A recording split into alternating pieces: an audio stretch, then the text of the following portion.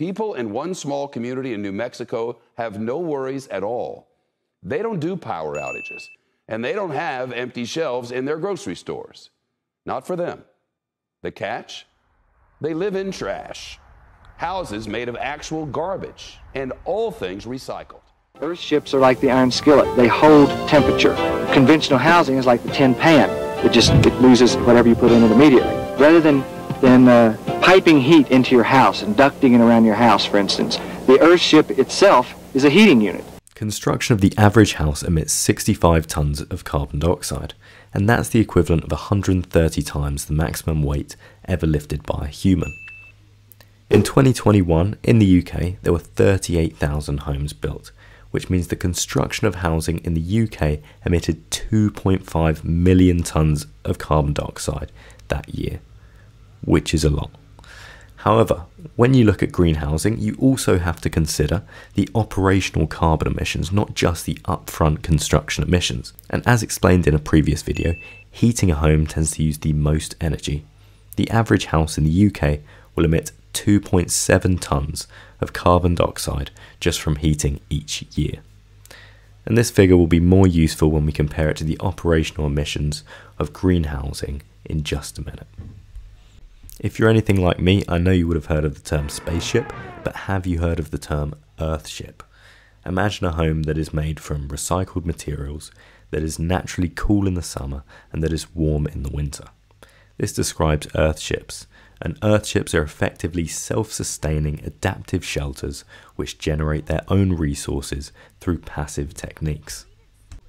The Earthship concept was born in 1971 by an architect called Michael or Mike Reynolds in New Mexico, USA. Mike was inspired by TV news stories about the lack of affordable housing and about the problem of there being too much waste and whilst Earthships began as being built up with waste binded to dirt, designs have changed over the past 50 years to better capture natural resources.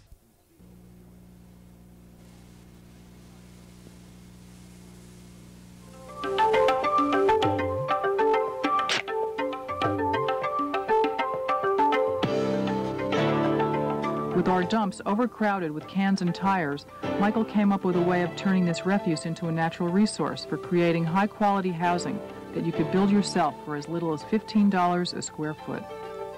The earthships are made from automobile tires rammed with earth. It's a rammed earth technique. Essentially, it is a tire uh, with earth beat into it so that it becomes a three foot diameter brick encased in steel belted rubber.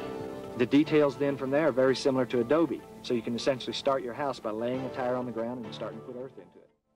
And since the advent of Earthships, Mike and his team have built and continue to build communities of Earthships in New Mexico.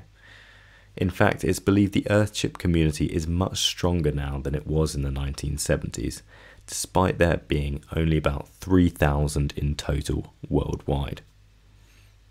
And as Mike defined it, Earthships address six humanitarian needs, which are comfortable shelter, electricity, water, self treating and containing your own sewage, food, and dealing with your own garbage. So, the idea is that these homes store as much energy as they can from natural elements. For this reason, glass tends to be facing the sun and tilted by an optimal angle, Water is almost always harvested directly from the roof, where it is passed through a sequence of natural filters. That water is then used for washing, bathing, and laundry, and then any wastewater from those processes is once again filtered and used to flush toilets and water plants. Earthships also generate their own electricity, predominantly through the use of solar panels. However, now we have many other methods of generating electricity, such as through water pumps or through wind turbines. So, the main idea of an Earthship is that it allows for self sufficient living, meaning less dependence on resource providers. And as each person and family has different consumption demands and preferences, Earthship design does need to vary and is also very flexible. If you have an idea to utilize the resources that you require, where your Earthship is based, then be creative and try it. So let's quantify the benefits from earthships and what I've called in this video greenhousing. So remember I said about the construction and operational carbon costs. So let's dive into it. So construction carbon cost of an earthship is 3.5 tonnes of carbon dioxide, which is far less than the 65 tonnes from a traditional house. In fact, it's 18 times less carbon dioxide emissions. Furthermore, for the operational carbon cost of an earthship, it's only 0.68 tonnes per year compared to 2.7 tonnes per year for a traditional house. So you're probably wondering why earthships aren't deployed everywhere, or at least that's what I was thinking. So generally earthships tend to perform worse in colder and more humid climates, hence why the majority are in New Mexico. It is also difficult to gain a permit for an earthship, and it is necessary that local construction codes and zoning regulations are adhered to, which obviously change dependent on your location. Thank you for watching, I hope you enjoyed the video, and if you'd like to support the channel, please like this video and also subscribe to the channel.